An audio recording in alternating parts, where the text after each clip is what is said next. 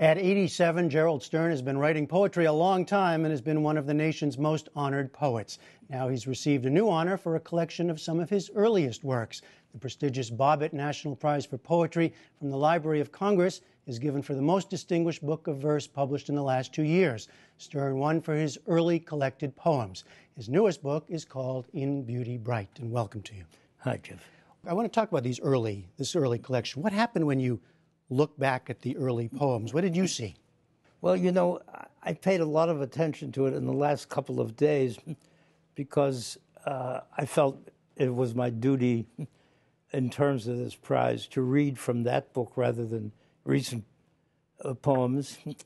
And uh, what struck me was two things the overwhelming similarity of what I'm doing now and the overwhelming difference. and, on the one hand, on the other hand. On the one hand, yeah. and on the other yeah. hand. Uh-huh. And you know, at a certain point in my life, and I think it was in 1965 or 66, I've been writing since I was 16, 17, but uh, uh, I, I was not happy with what I was doing for various reasons. And instead of publishing my first book and then putting it, the, the, the unread books in the attic, and then by the time of my third book, uh, I would be appreciated a little bit.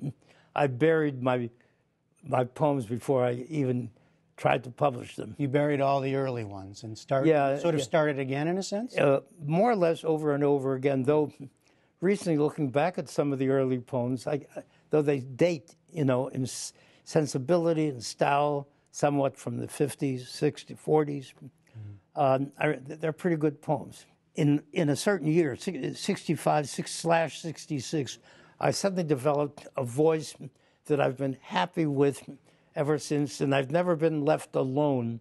I've never had a time when I didn't have five or six poems. From that day to this, where I'm ready to work at. I know. see. So that in that sense, you feel sort of the same poet. The same yeah, writer. albeit you know, you write differently when you're yeah. 70 than when you're 30. You or do. when you're 80 than how, when you're how, 50. What does that mean? How do you write differently? Well, because you're closer to death, you're farther from birth, uh, your children, if you have them, are, are older, you, you have some money. I mentioned to you earlier that I, and I don't have a copy of it with me, that I wrote a book recently called Being 30. Mm-hmm. And the two things I emphasized in that poem have to do with more or less with poverty. I was already teaching at a university, but I was poor as a church mouse. I was underpaid and, you know, so on, the way it always goes. I, in that poem, I described that, uh, you know, during the summer, because I didn't make enough money to really pay for things, you know, and I was the only wage earner, and I had two children, and I would deliver yellow pages for Donnelley. and then the day before I was supposed to start that job, and this is in the poem in a compressed and lovelier way than I'm talking now. Um, the day before I was to start that job for that summer, I got a call from my department chairman, whose name, by the way, was Ernest Ernest. and he asked me if I knew. You got to get that in the poem. And somebody, one of my colleagues, a guy named Herbert, his last name was Herbert, had shot himself the day before oh. in the barn, in his barn, killed himself and he was due to teach American literature. And, and Ernest asked me, "You know American literature, don't you?" I said, "Absolutely. It was my major." And I hadn't even read Moby Dick. And, and so I, you know, I stayed. I taught. That was my money for that summer, and we could eat some meat for the first time. You know, but that, but that, that reminds me because uh, place is important to you. Grow you grew up in Pittsburgh. Yep. You, you grew up. You, you describe walking, walking the streets. You came from a working class background. that's what I did. I walked all the time uh-huh. across the bridges.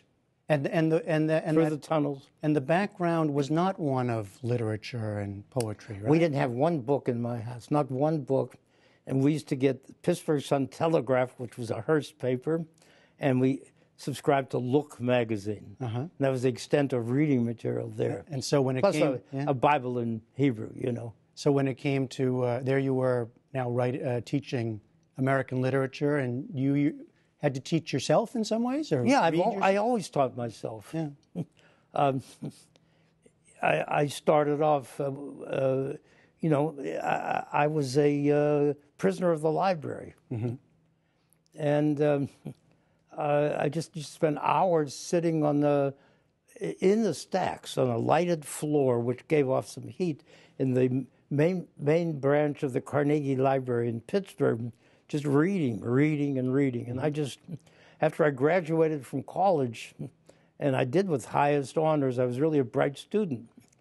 I wasn't a major in English. I majored in political science. I was going to be a lawyer, and I my dad, my poor dad, said, well, "What are you going to do?" Because I was offered all kinds of scholarships, and I said, "I'm going to take off a year and read," and that became, you know, ten years. I uh-huh. lived in Paris, And New York, 20, and all yeah, that stuff. And then a, a life of reading and a life of writing. So Yeah, yeah, just bring us up in our last minute here. Like bring us up to date. I mean, here, where are you now as a as a as a writer, as a poet? Well, um, this year I had two. In 2012, I had two books published. this book called "In Beauty Bright," which is a book of poetry, and a book of prose called "Stealing History," which is published by Trinity University Press. It's about 300 and some pages, 85 short sections. They're not essays, but they're essay like and they're almost like prose poems, some of them. And uh, since I've published this book, I counted the other day, I have 63 new poems. So you're you're certainly not slowing down. I'm speeding up. in a sense of urgency, or it No, just I- I has don't just happened? Just joy. Just joy. And there's no joy and sorrow, of course, they go together. And don't they? I guess so. and, and um, uh, it's just what I do. I have another poem again. That's a recent poem. I don't have it with me. I don't think it's in here. It's called "The Mule," uh, and I think of myself as a mule with blinders or blinded. Some of them they actually bl- and they went in a circle, pushing against a stone, grinding corn, grinding wheat, and only I make poems, so I'm a mule, and that was the uh, metaphor I used in that poem. All right. Well, the uh, the honored book is for the early collected poems, 1965 to 1992. The new book is In Beauty, in Beauty Bright. Bright. Gerald Stern, nice to talk to you. It's Thanks. a so much. pleasure to talk to you, Jeff. It really is.